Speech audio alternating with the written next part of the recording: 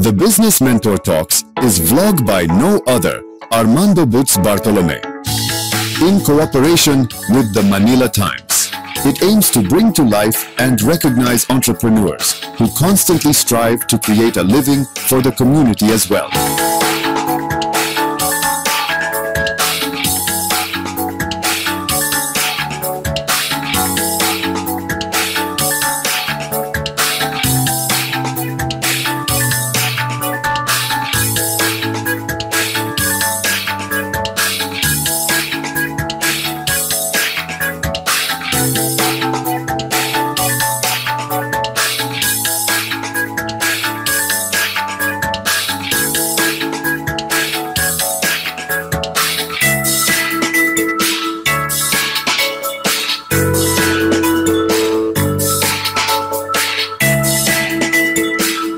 To the Business Mentor Talks with Boots Bartolome.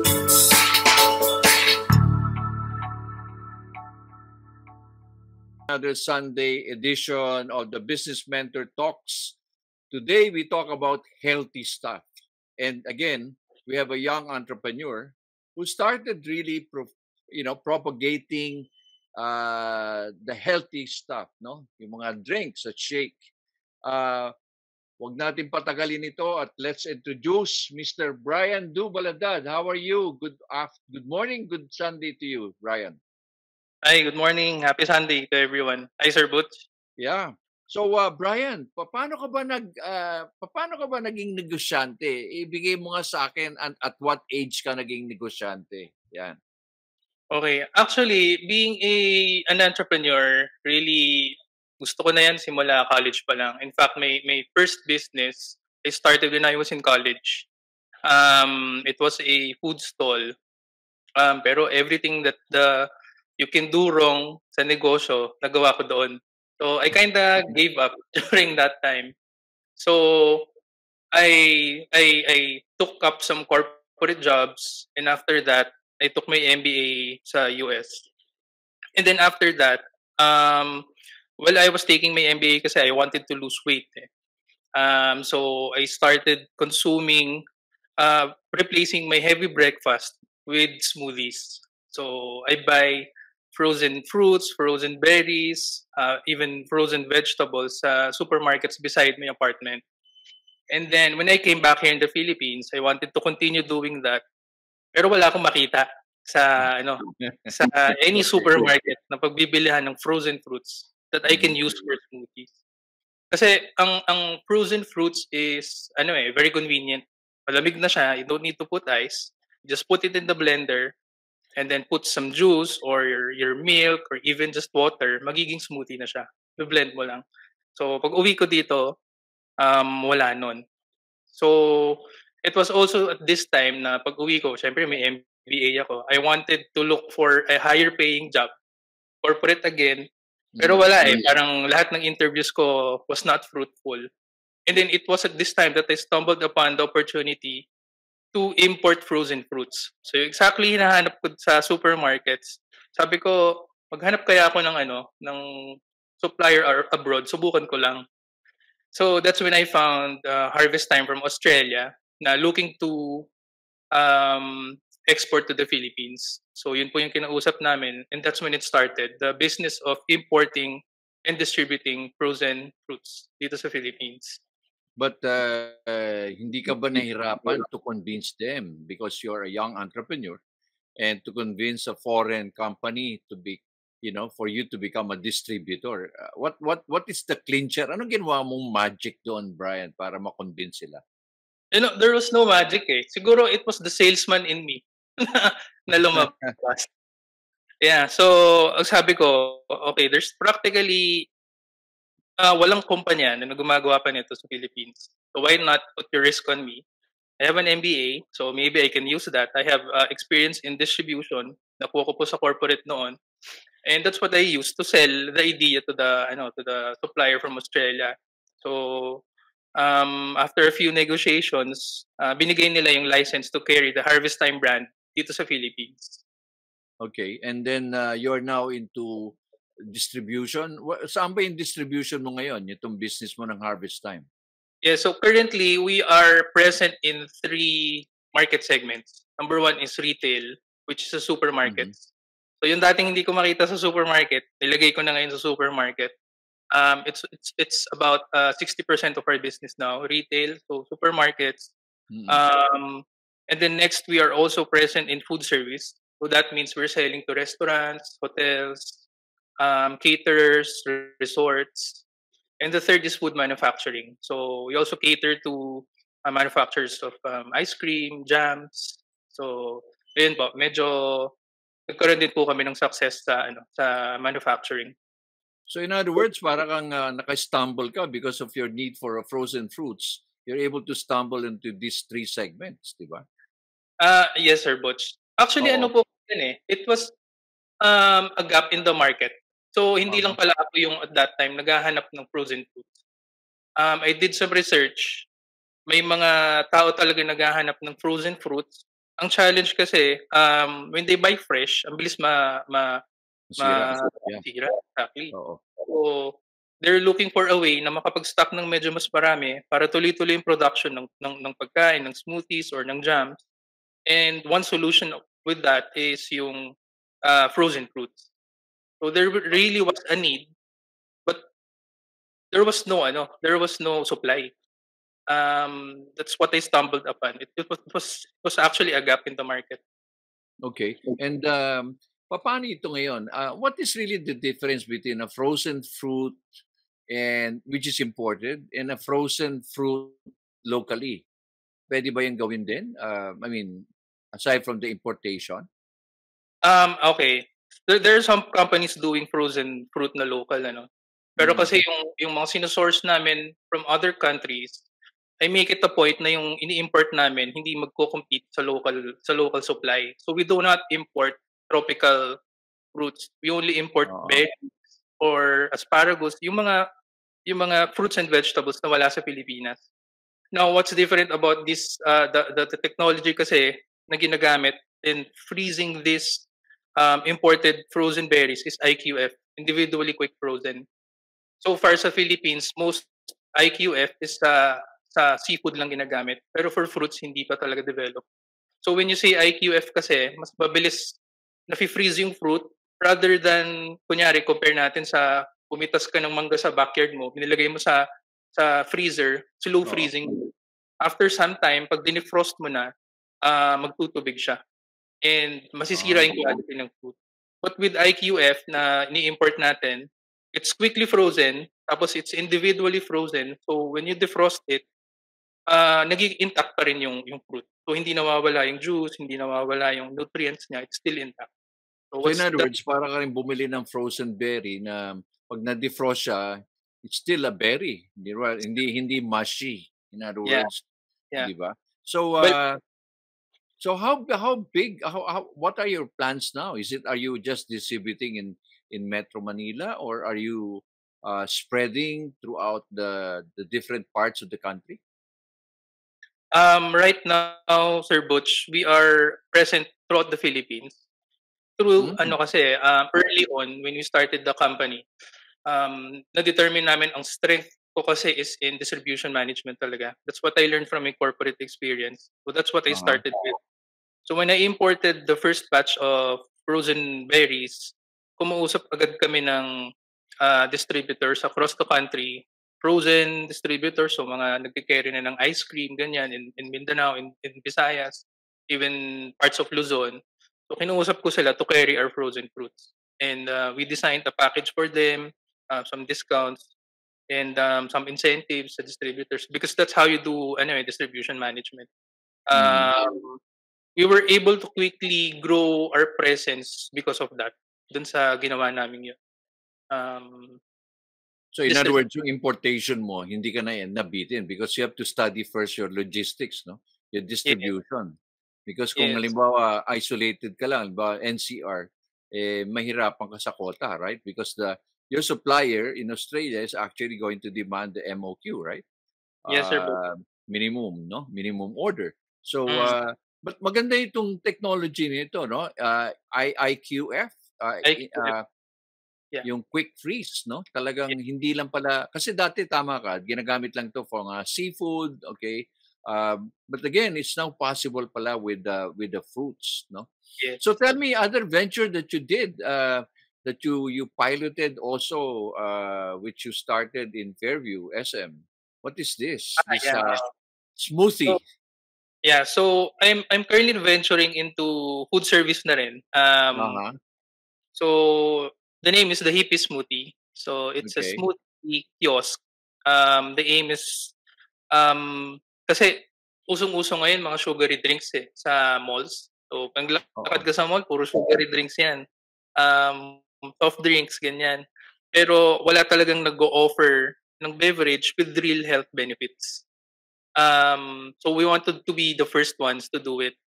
Um, there are some na claiming to be smoothies or shakes, pero puno-puno pa rin ng sugar. So kami, So in other words, what what what makes you different ngayon, uh, Brian? Are you less sugar or you really totally uh, sugar free or what? uh, ang hippie smoothies, less sugar lang. We cannot claim to be sugar-free kasi yung fruit mismo may sugar na yan eh. Correct, Ah, correct, correct. So, less sugar lang kami. And there are some customers pa rin na gusto pa rin ng konting tamis. So, we Aha. still put a little bit of a sweetener. But what's really different about us is we use 100% um, real frozen fruits. So, hindi kami gumagamit ng powders or syrups. We use real frozen fruits. And it's not diluted unlike others na they use they use um, fruits lang and then lalagyan ng ice or lalagyan ng malamig na tubig. Hindi kami ganun. Mm. So, ang Nalulunod, nalulunod na sa yelo, di ba? Yes, exactly. Uh, yung ano. But uh, what are the products? Tell us, tell, tell us uh, what are your product line? Yeah, so with Hippie Smoothie, we have the regular smoothie line. Um, and then we have the smoothie with yogurt line. Med- medyo may konting asim ng konti pa. Mhm. We also have um, smoothie bowls. So it's a very new concept for Filipinos, itong smoothie bowls. Um, mas malaki lang siya, mas malapot, parang parang ice cream siya almost. Mas Parang, nakakabusog. parang ha- ice cream na ano, halo-halo o ice cream? How would you describe that to the local Filipino ano? So it's like ano, um well yeah, para, parang halo-halo. Pero instead of ice, yung yung yung parang pinaka base mo, it's Mm. a smoothie na makapal. So parang sorbet. So it's like a sorbet. Oh, okay. Yeah. And then may may toppings ka lang na ah, fruits pa and minsan some some nuts ganyan. Oo. So what about the latest? I heard you uh, introduce Asahi. Uh, we have now this in the Philippines. Ako nagulat ako kasi alam ko sa Amerika lang yan. Meron ko nakikita. Tell us about the, the, the the product that you innovated now. Yeah, so with Asai kasi it's still connected with my ano eh, with my import distribution business actually. Kasi we were able to close the distributorship of uh, a brand from the US. Uh, they're the global market leader of Asai. So the brand name is. Um, and then we started to use um, Sambazon, Asai, dun sa sarili naming kiosk, which is the AP Smoothie. So now, we're introducing this Asai Bowl sa Filipino. Oh. Yeah. So maganda yun, ang Asay Bowl. Asay. So, um, ano ang naging challenges mo when you introduced this in the market, the, in the food service? Uh, you started, you confined yourself in uh, Fairview, no? Uh, Yes, ano naging uh, ano naging uh, challenges journey mo, uh, Brian, in introducing this new concept, uh, less sugar uh, Mm. to the Filipino market? Marami, Sir Butch. Number one is a lot of doubters. Parang sinasabi, totoo bang less sugar yan? O kaya totoong fruits bang gamit yan? Kasi harap.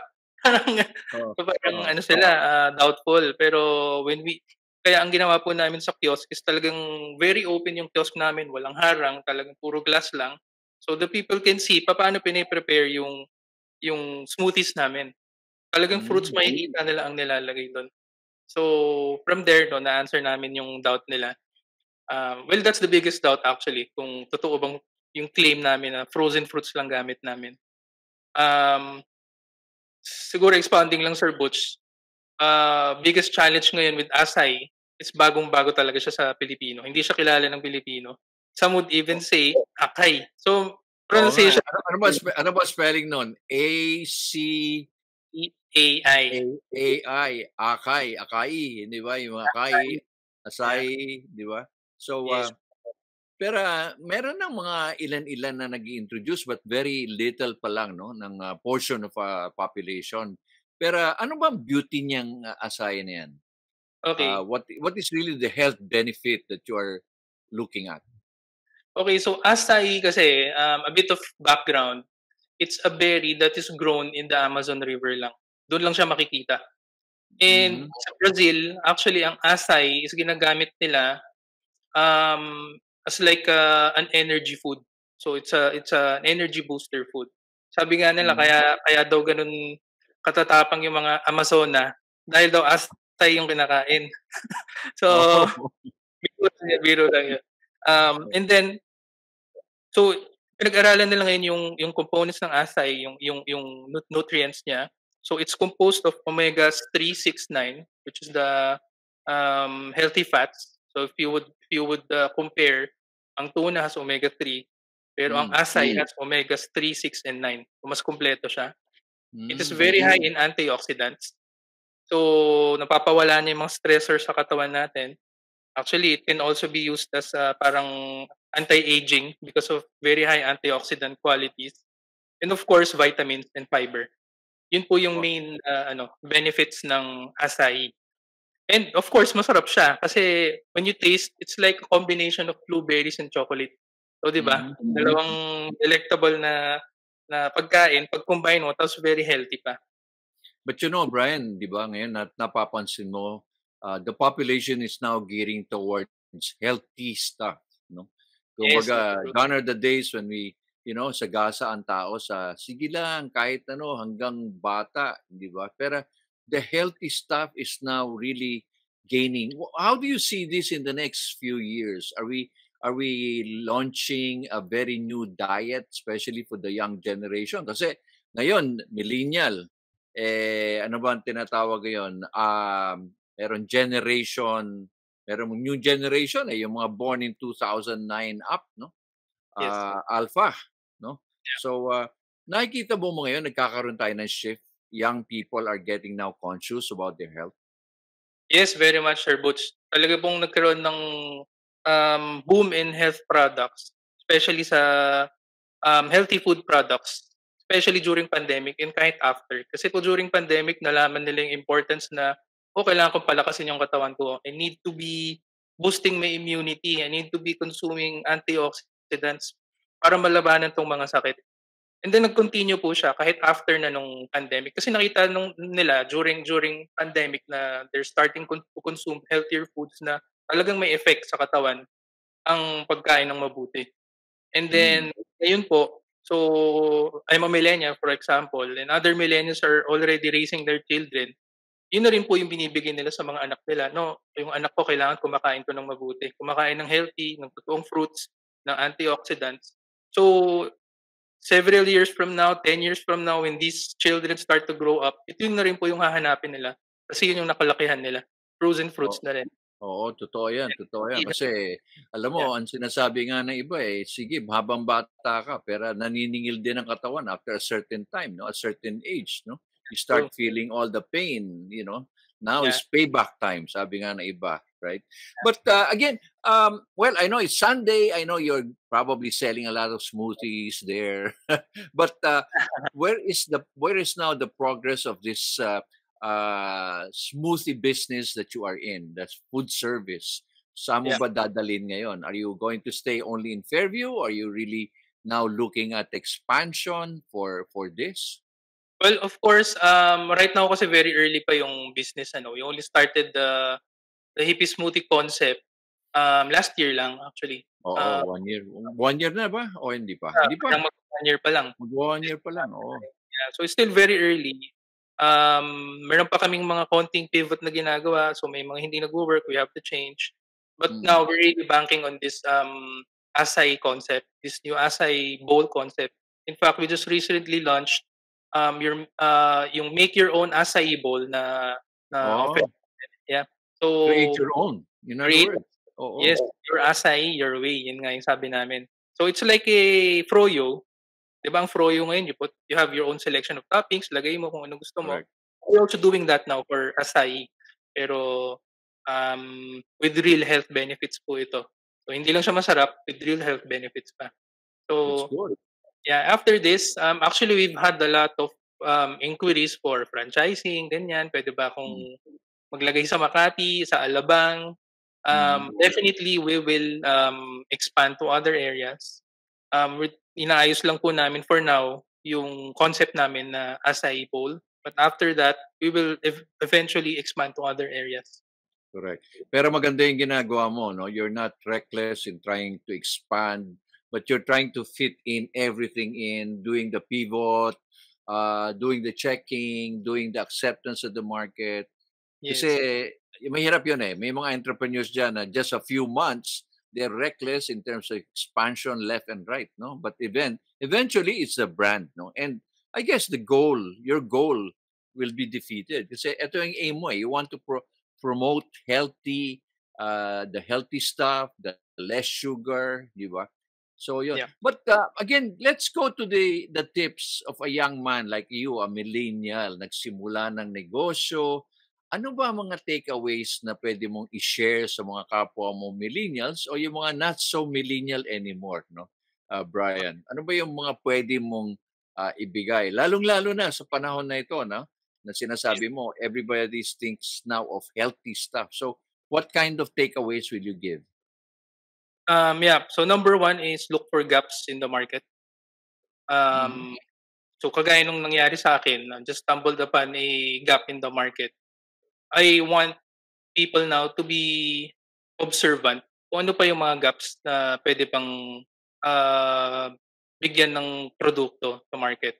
Kasi there's a demand pero it's not being supplied. So, yun po yung number one. Kasi doon makakapagsimula tayo ng negosyo if we're serving that demand um, ng maayos.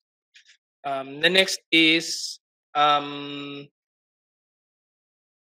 look at your finances very carefully. At the end of the day, hindi lang naman puro benta yan. Pero kung magkano yung may iwan sa'yo at the end of the day.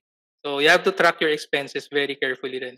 So, hindi lang yung Mm. puro um, okay lang mag-invest in marketing but you should also know ano ba yung kailangan ma-target ko so I can have ROI dito sa pag-investan kong marketing program. Um, ah yun, Sir Bots. Yun yung mga basic lang na tips. So, yeah, well, basically, plus, uh, you know, huwag ka matakot mag-inquire, even if they're foreigners, di ba? Para bang Yeah. you cross the threshold na, ay, kaya ko kaya, di ba? Yung, bang, yung Hmm. self-confidence ni Brian, eh, malakas kasi you know that there's a gap in the market. No? Tama-tama yun. Yeah, So, um, yun. yun, um, yun lang, siguro, yun lang din. Ah, tama pa yung sinabi niyo, Sir Butch. Um, walang mangyayari kung hindi ka magte-take ng first step, kung wala kang gagawin. So, walang mangyayari kung palagi ka lang takot and you're not even trying something.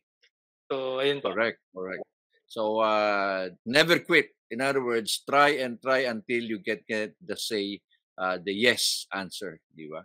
So again, Brian, uh, I won't take much of your time and really, I hope your success, especially for propagating and telling people healthy stuff, less sugar, and health is wealth, sabi nga natin. Okay? Yes. Thank you very much, Brian. Ha? Thank you, thank you. Sir Butch. Bye-bye.